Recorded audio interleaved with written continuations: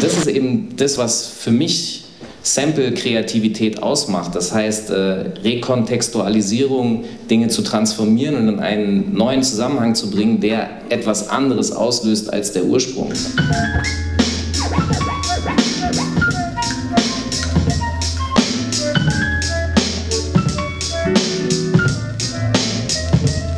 Es lebe der Remix, es lebe die Variation, es lebe das Zitat, es lebe die immer wieder neue Komposition von Kopien. Es ist ja nicht so, dass wir uns letztendlich die Möglichkeiten des Kopierens ausgesucht haben, sondern äh, die haben uns ausgesucht. Es ist die Digitalität, die letztendlich Informationen in die Einzelteile zerlegt hat, damit man sie woanders wieder zusammenbauen kann. Und das bringt natürlich enorme Möglichkeiten des Kopierens. Es lebe der Remix, es lebe die Variation, es lebe das Zitat, es lebe das Plagiat, es lebe der Mashup, die immer wieder neue Rekomposition von Kopien.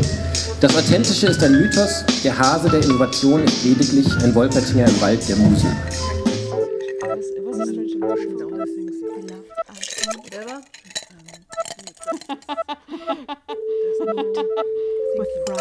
Also das Phänomen der Fälschung ist an seinem Ende angekommen. Äh, durch das Internet zum Beispiel ähm, gibt es für den Fälscher sozusagen gar keinen Ort mehr, wo er sich verstecken kann.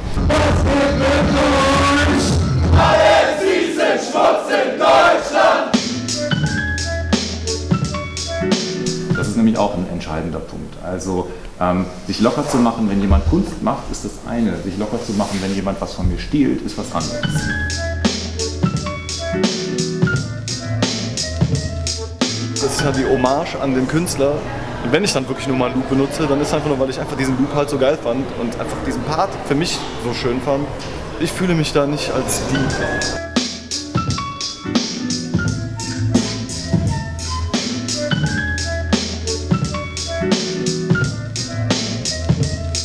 Ich als Künstlerin äh, habe ganz grundlegend andere Arbeitsbedingungen als ein Künstler vor 50 oder vor 100 Jahren.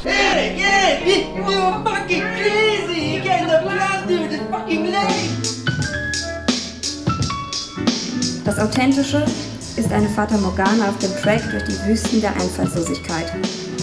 Auf der Jagd nach dem Rebhuhn der Genialität im Schallplattenwald des Plattenladens unseres Vertrauens. Sind doch fast alle noch geprägt so von den Idealen und Werten der Moderne, die sehr stark auf das Neue, das Originelle, das Fortschrittliche gepolt war und äh, wo das dann eben doch als deutlicher, aus mancher Sicht dramatischer Paradigmenwechsel erscheint, was da aktuell stattfindet. Und deshalb braucht es, glaube ich, vieler solcher Veranstaltungen.